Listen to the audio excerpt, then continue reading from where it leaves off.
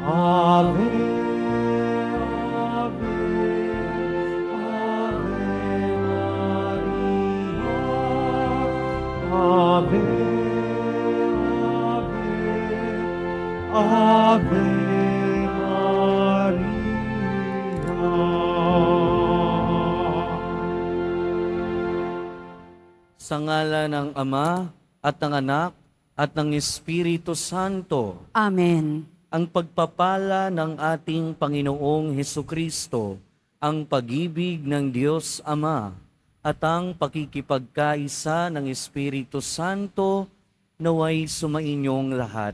At sumayo rin. Mga kapatid, aminin natin ang ating mga kasalanan upang tayo ay maging marapat gumanap sa banal na pagdiriwang. Inaamin ko sa makapangyarihang Diyos at sa inyo mga kapatid, na lubha akong nagkasala sa isip, sa salita, sa gawa, at sa aking pagkukulang. Kaya isinasamo ko sa mahal na Birheng Maria, sa lahat ng mga anghel at mga banal, at sa inyo mga kapatid, na ako'y ipanalangin sa Panginoong ating Diyos. kaawaan tayo ng makapangyarihang Diyos, patawarin tayo sa ating mga kasalanan at patnubayan tayo sa buhay na walang hanggan. Amen. Panginoon, kaawaan mo kami. Panginoon, kaawaan mo kami. Kristo, kaawaan mo kami. Kristo, kaawaan mo kami. Panginoon, kaawaan mo kami.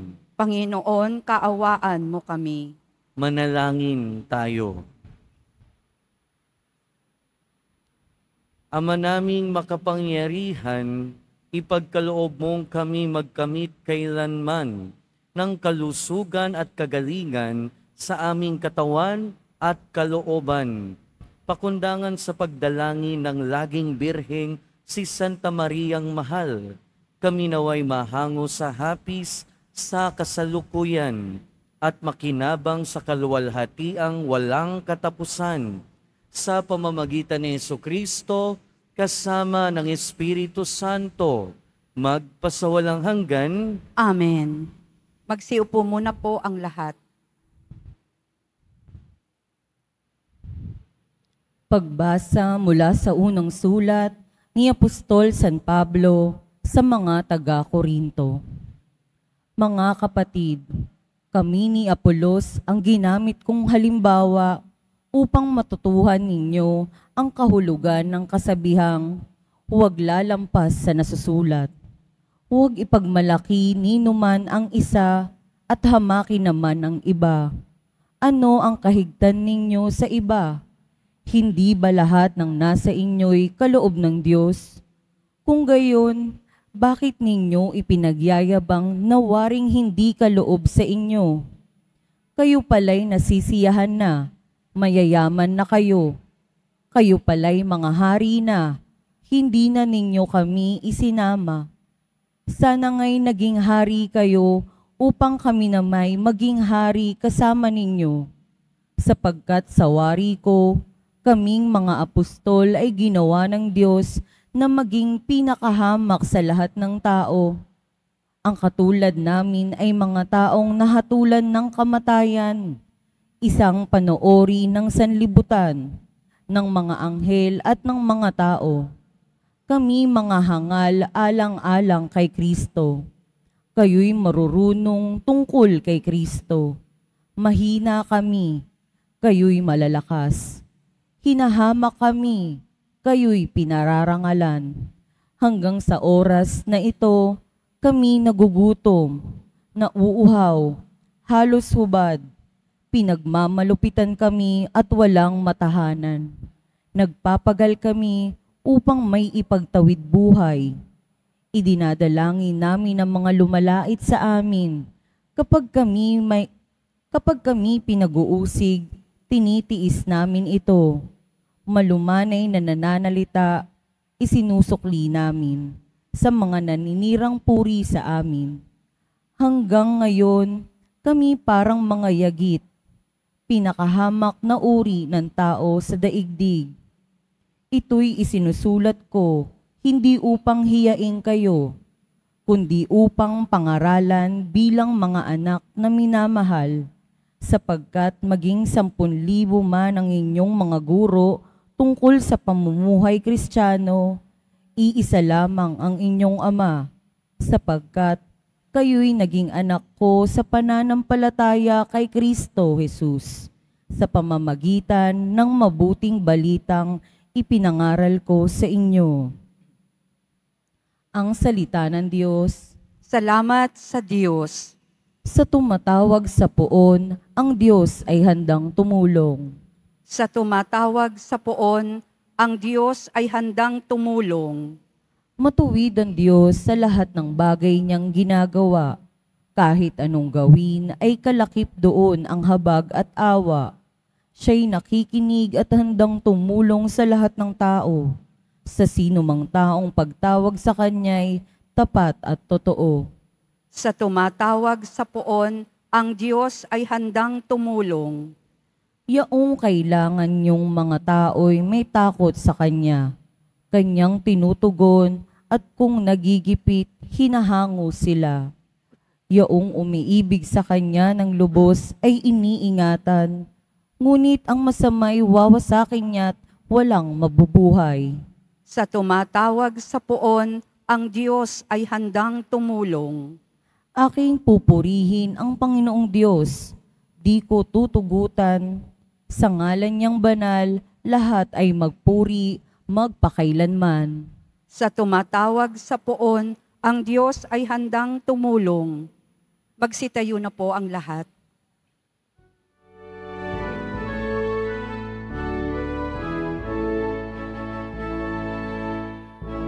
Alleluia,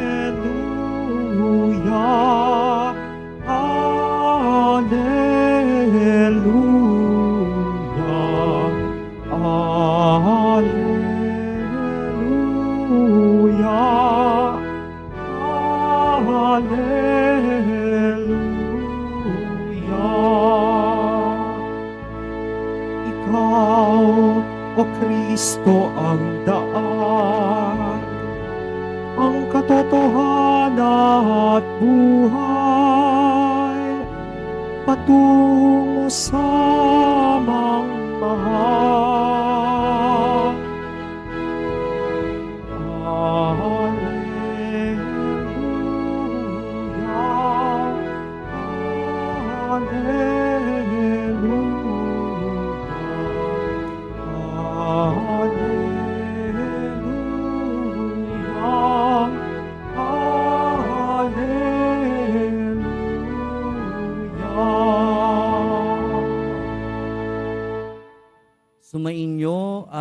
Panginoon, At sumayo rin ang mabuting balita ng Panginoon ayon kay San Lucas.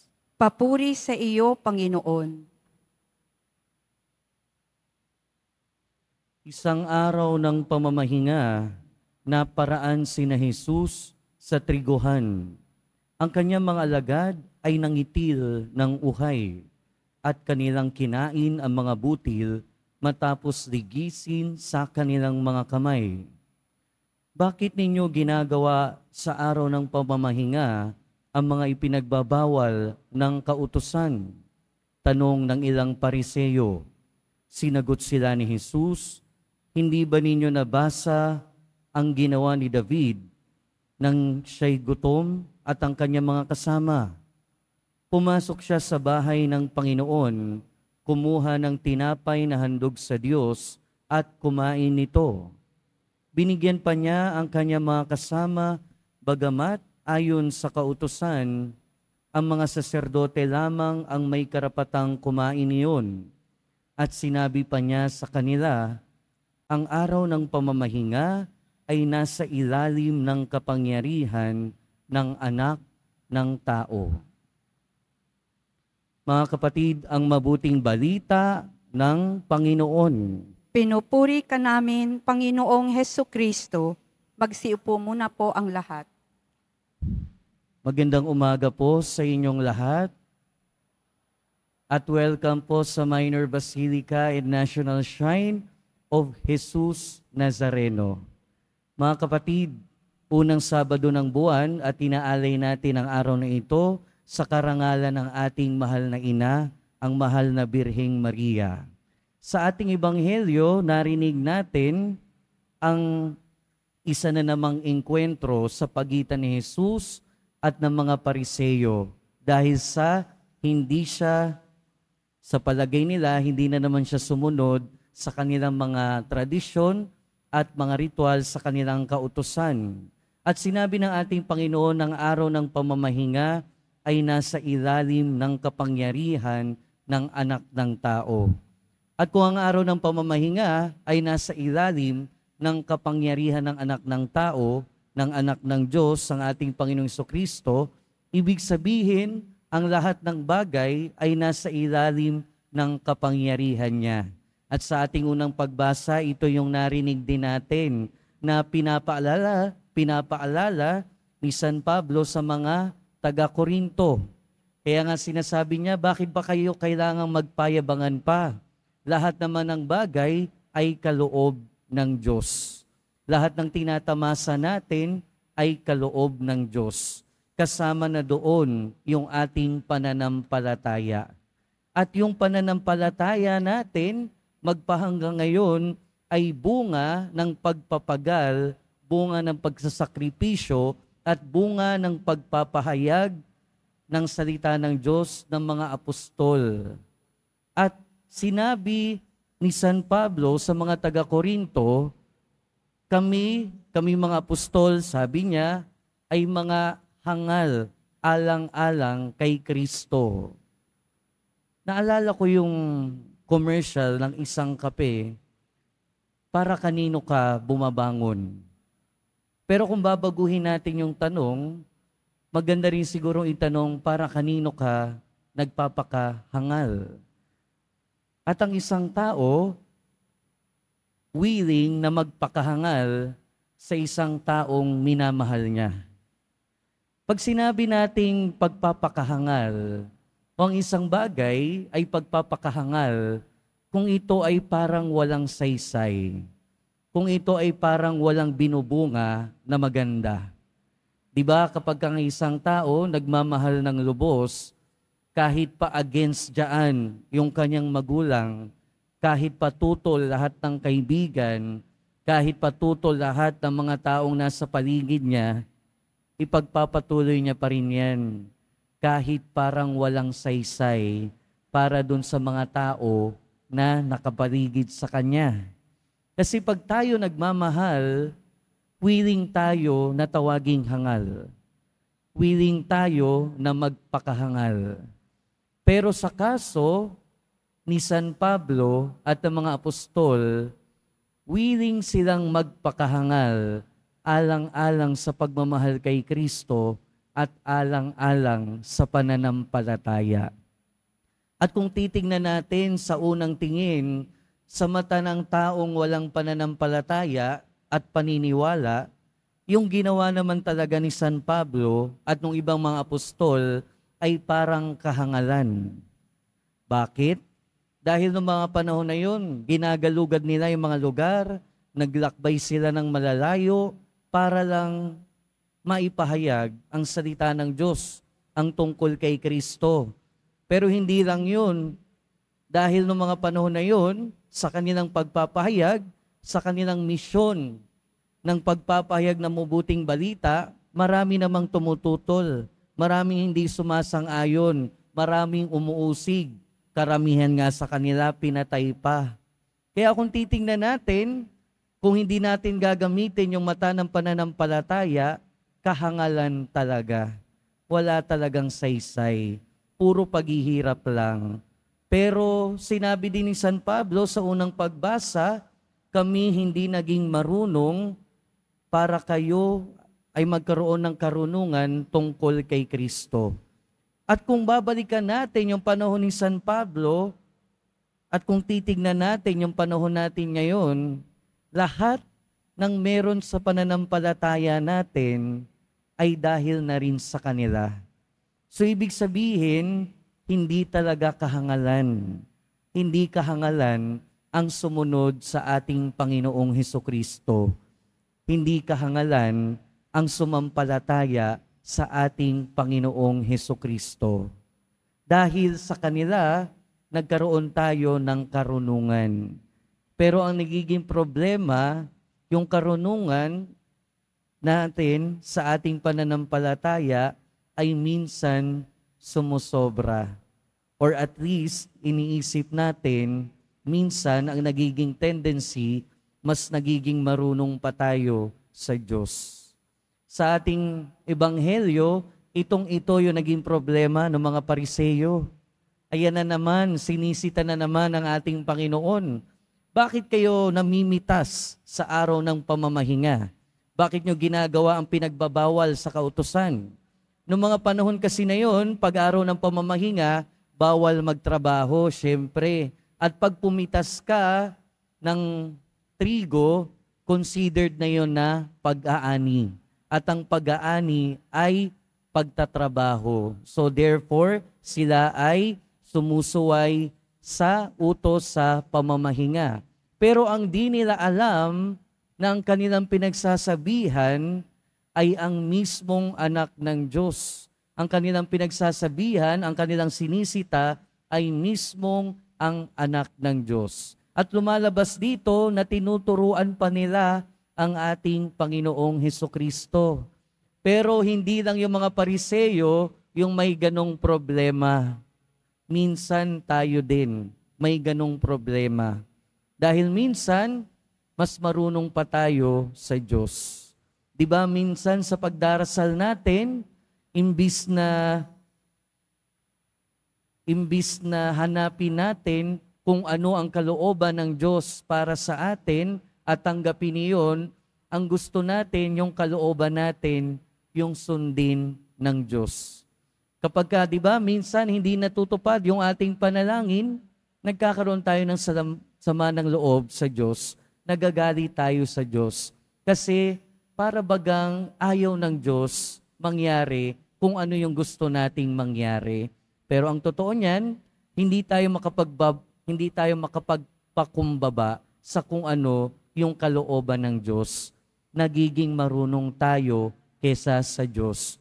At hindi lang naman yan, di ba? Sa mga tinuturo sa atin ng ating kapwa, sa mga tinuturo sa atin ng simbahan, paminsan-minsan, may mga pagkakataon ayaw nating tanggapin. Dahil ang gusto lang nating tanggapin ay kung ano yung inaakala nating tama. And therefore, nagiging mas marunong tayo kesa sa ating kapwa. Mas nagiging marunong tayo kesa sa simbahan.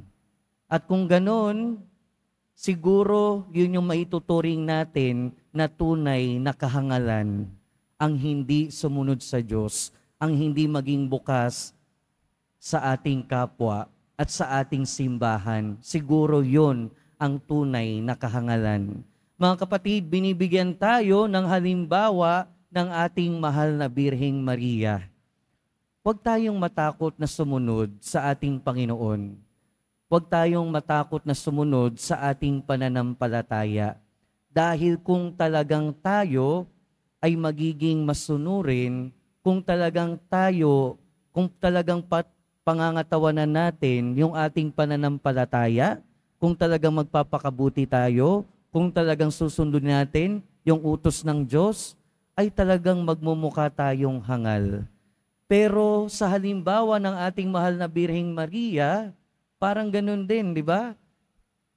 Biglang dumating yung anghel at nagsabing siya ay magbubuntis, maglilihi ng walang tatay. Parang kahangalan. Pero at the end, hindi naman talaga kahangalan. Dahil ang lahat ng iyon para sa ikaliligtas ng lahat. Kaya huwag tayong matakot na sundin ang ating Panginoon. Huwag tayong matakot na sundin ang ating pananampalataya dahil ang tunay na kahangalan ay hindi yung pagsunod.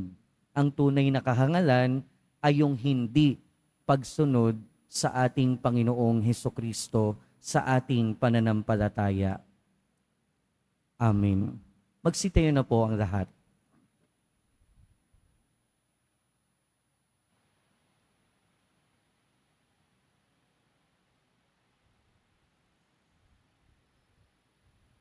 Mga minamahal kong kapatid, manalangin tayo sa Diyos Ama na umangkin sa atin bilang kanyang mga malayang anak kay Heso Kristo na kanyang bugtong na anak.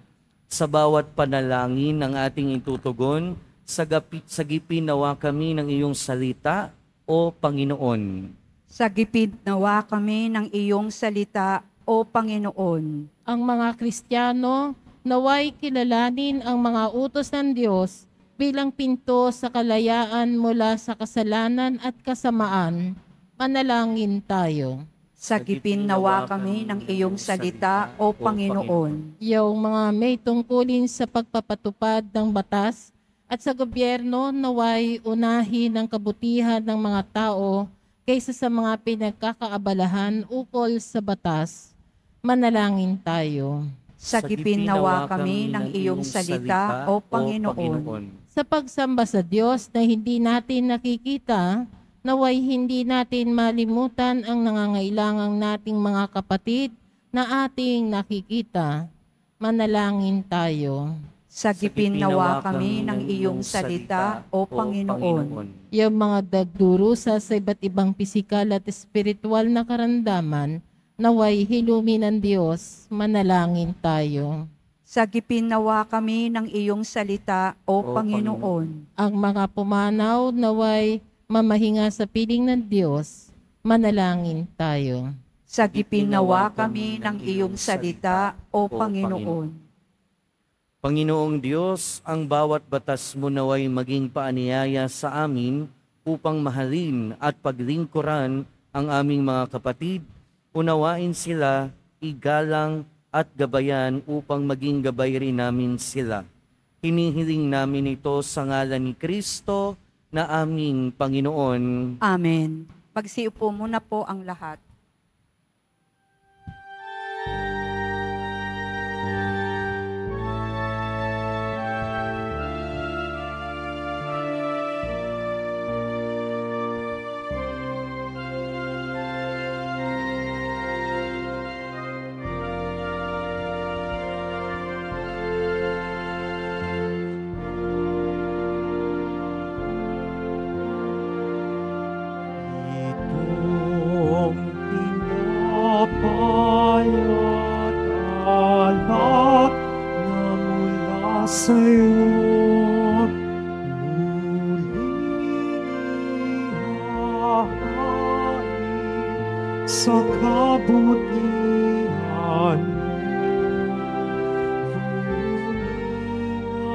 At tanggapin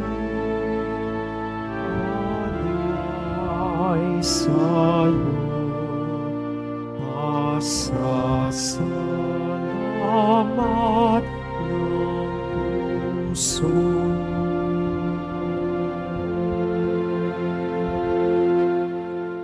Tumayo na po ang lahat. Manalangin kayo mga kapatid upang ang paghahain natin ay kalugdan ng Diyos amang makapangyarihan. Tanggapin nawa ng Panginoon itong paghahain sa iyong mga kamay, sa kapurihan niya at karangalan, sa ating kapakinabangan at sa buong sambayanan niyang banal.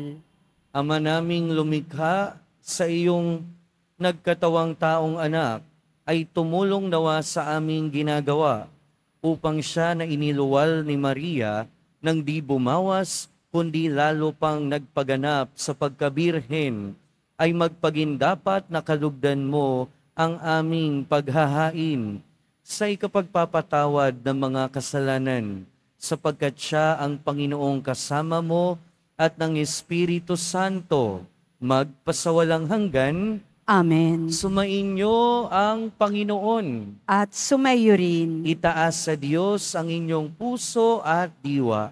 Itinaas na namin sa Panginoon. Pasalamatan natin ang Panginoong ating Diyos. Marapat na siya ay pasalamatan. Ama naming makapangyarihan, tunay ngang marapat na ikaw ay aming pasalamatan. Ngayong pinararangalan ang mahal na Birheng Maria, bukod mong pinagpala sa babaeng lahat, ang mahal na Birheng totoong mapalad na iyong piniling maging ina ng iyong anak nung sinugo mo siya bilang aming Mesiyas. Sa kapangyarihan ng Espiritong Banal, ang Birheng Maria ay naging inang tunay ng iyong anak na kanyang isinilang bilang liwanag nitong sanlibutan. Kaya kaysa ng mga anghel na nagsisiawit ng papuri sa iyo, nang walang humpay sa kalangitan, kami nagbubunyi sa iyong kadakilaan. Santo, Santo, Santo, Panginoong Diyos ng mga hukbo, napupuno ang langit at lupa ng kadakilaan mo, o sana sa kaitaasan. Pinagpala ang naparirito sa ngalan ng Panginoon, o sana sa kaitaasan. Lumuhod po ang lahat. Ama naming banal, ikaw ang bukal ng tanang kabanalan. Kaya't sa pamamagitan ng iyong Espiritu, gawin mong banal ang kaloob na ito upang para sa amin maging katawan at dugo ng aming Panginoong Heso Kristo. Bago niya pinagtiis ang kusang loob na maging handog, hinawakan niya ang tinapay, pinasalamatan kanya, pinaghati-hati niya iyon, iniabot sa kanyang mga alagad at sinabi, Tanggapin ninyong lahat ito at kanin. Ito ang aking katawan na ihahandog para sa inyo.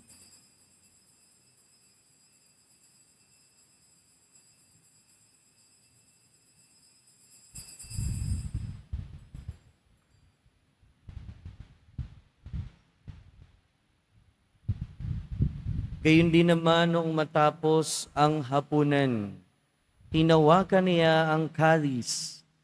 Muli kanyang pinasalamatan. Iniabot niya ang kalis sa kanyang mga alagad at sinabi, Tanggapin ninyong lahat ito at inumin. Ito ang kalis ng aking dugo, ng bago at walang hanggang tipan. Ang aking dugo na ibubuhos para sa inyo at para sa lahat sa ikapagpapatawad ng mga kasalanan. Gawin ninyo ito sa pag-alala sa akin.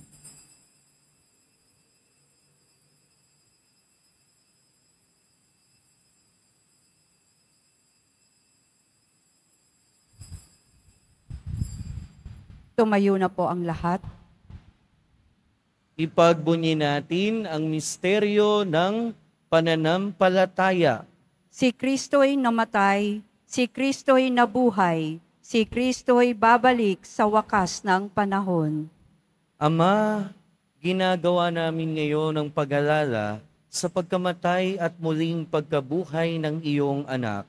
Kaya tiniaalay namin sa iyo ang tinapay na nagbibigay buhay at ang kalis na nagkakaloob ng kaligtasan. Kami nagpapasalamat dahil kami iyong minarapat na tumayo sa harap mo para maglingkod sa iyo. Isinasamo namin kaming magsasalo-salo sa katawan at dugo ni Kristo ay mabuklod sa pagkakaisa sa pamamagitan ng Espiritu Santo. Ama, lingapin mo ang iyong simbahang laganap sa buong daigdig. Puspusin mo kami sa pag-ibig kaysa ni Francisco na aming Santo Papa, at ni Jose na aming Obispo at ng Tanang Kaparian. Alalahanin mo rin ang mga kapatid naming nahimlay, nang may pag-asang sila'y muling mabubuhay, gayon din ang lahat ng mga pumanaw. Kaawaan mo sila at patuloyin sa iyong kaliwanagan. Kaawaan mo at pagindapating kaming lahat na makasalo sa iyong buhay na walang wakas. Kaysa ng mahal na Birheng Maria na ina ng Diyos, ng kabiyak ng puso niya si San Jose, kaysa ng mga apostol ni San Juan Bautista at ng lahat ng mga banal na namuhay dito sa daigdig ng kalugod-lugod sa iyo. May pagdiwang nawa namin ng pagpupuri sa ikararangal mo sa pamamagitan ng iyong anak na aming Panginoong Heso Kristo. Sa pamamagitan ni Kristo kasama niya at sa Kanya, ang lahat ng parangal at papuri ay sa iyo, Diyos amang makapangyarihan kasama ng Espiritu Santo, magpasawalang hanggan Amen. Sa tagubilin ng mga nakagagaling na utos at turo ni Jesus na Panginoon natin at Diyos, ipahayag natin ng lakas loob. Ama namin, Sumasalangit ka, sambahin ang ngalan mo, mapasa amin ang kaharian mo, sundin ang loob mo dito sa lupa para nang sa langit. Bigyan mo kami ngayon ng aming kakanin sa araw-araw at patawarin mo kami sa aming mga sala para ng pagpapatawad namin sa nagkakasala sa amin. at huwag mo kaming ipahintulot sa tukso at iadya mo kami sa lahat ng masama. hinihiling namin kami adya sa lahat ng masama, pagkalooban ng kapayapaan araw-araw, iligtas sa kasalanan at ilayo sa lahat ng kapahamakan, samantalang aming pinananabikan ang dakilang araw ng pagpapahayag ng tagapagligtas naming si Heso Kristo. sapagkat iyo ang kaharian at ang kapangyarihan at ang kapurihan magpakailanman. Amen. Panginoong Heso Kristo, sinabi mo sa iyong mga apostol, Kapayapaan ang iniiwan ko sa inyo, ang aking kapayapaan ang ibinibigay ko sa inyo. Tunghayan mo ang aming pananampalataya at huwag ang aming pagkakasala. Pagkalooban mo kami ng kapayapaan at pagkakaisa ayon sa iyong kalooban, kasama ng Espiritu Santo, magpasawalang hanggan. Amen. Ang kapayapaan ng Panginoon ay laging sumainyo. At sumayo rin. Magbigayan tayo ng kapayapaan sa isa't isa. Peace be with you po. Kodero ng Diyos na nag-aalis ng mga kasalanan ng sanlibutan, maawa ka sa amin. Kordero ng Diyos na nag-aalis ng mga kasalanan ng sanlibutan, maawa ka sa amin. Kordero ng Diyos na nag-aalis ng mga kasalanan ng sanlibutan, ipagkaloob mo sa amin ang kapayapaan.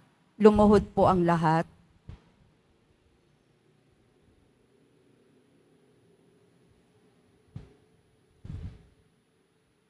Ito ang kordero ng Diyos. Ito ang nag-aalis ng kasalanan ng sanlibutan.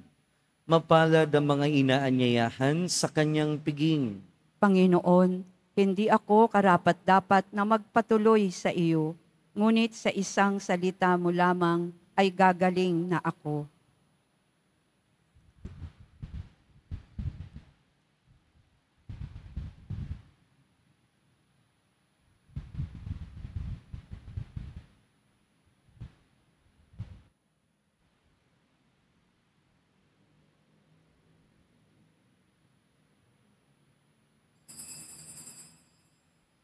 Para sa lahat ng tatanggap ng banal na komunyon, sasagot po tayo ng Amen. Pagkasabi ng pari o ng lay minister ng katawan ni Kristo at isubo agad sa bibig bago umalis sa harapan ng pari o lay minister. Sumunod po tayo.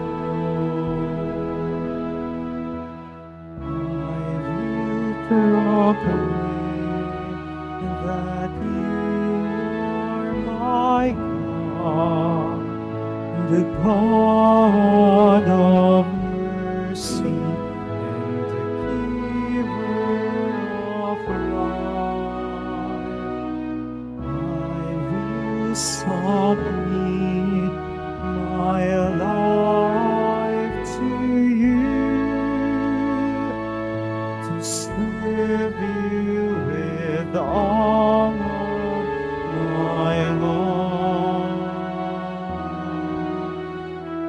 You are my hope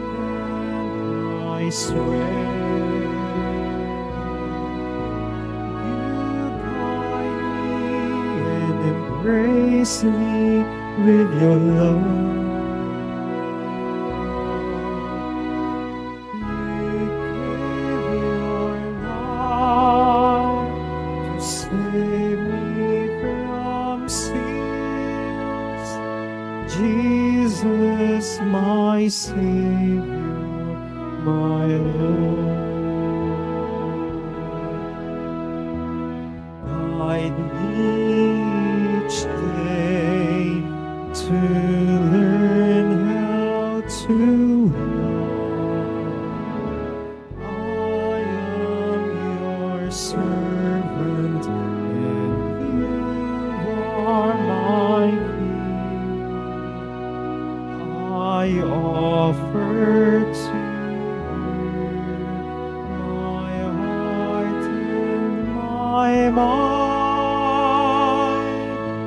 Use me, Lord Jesus, my God.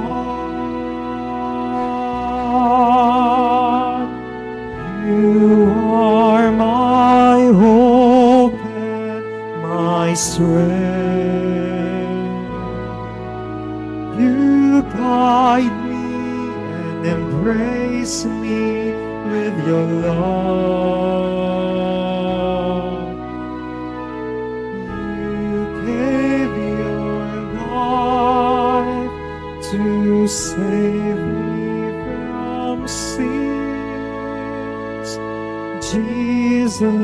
Jesus, my Savior, my Lord.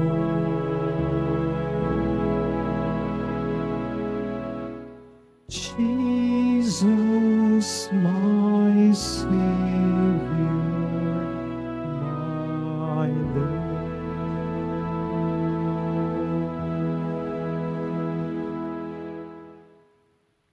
Mga kadeboto, atin pong suportahan ang mga opisyal na social media accounts ng Quiapo Church.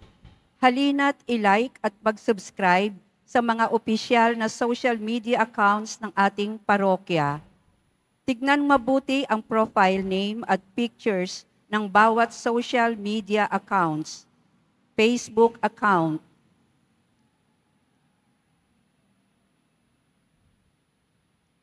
YouTube account,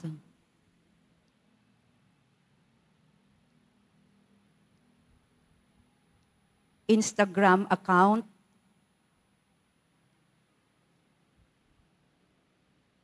Threads account,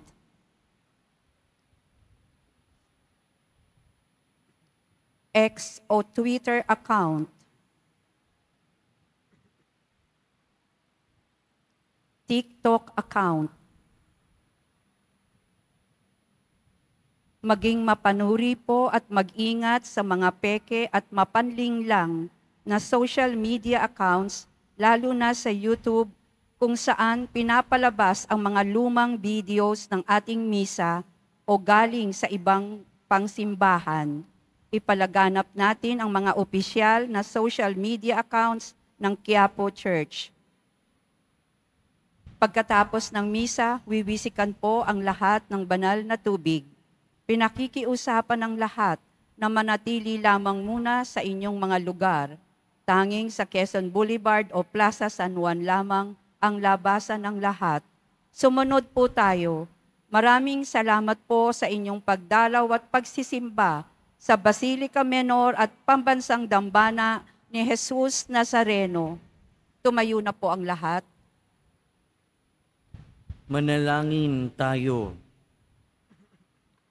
Ama naming mapagmahal, sa pagsasalo namin sa banal na pakikinabang, ang iyong kagandahang loob ay aming hinihiling upang ang pagpaparangal namin sa mahal na Birhen at pagtulad namin sa Kanya ay magpaging dapat na aming paglingkuran ang pagganap sa kaloob mong kaligtasan.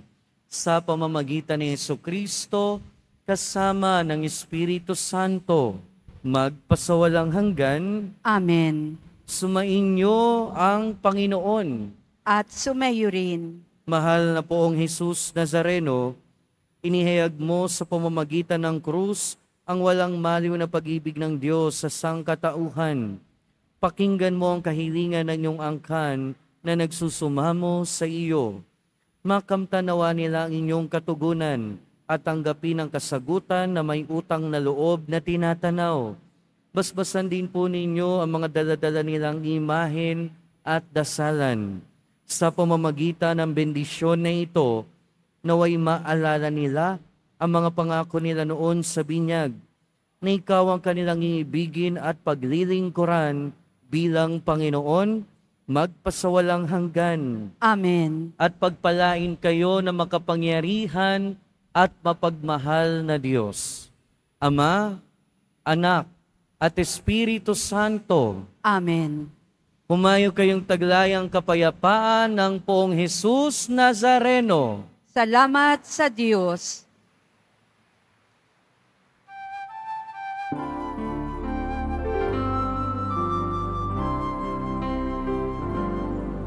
Nuestro Padre Jesús Nazareno, sinasamba ka namin. Inipinto ka namin para mo ang aming buhay at kaligtasan. Nuestro Padre Jesus Nazareno, iligtas mo kami sa kasalanan.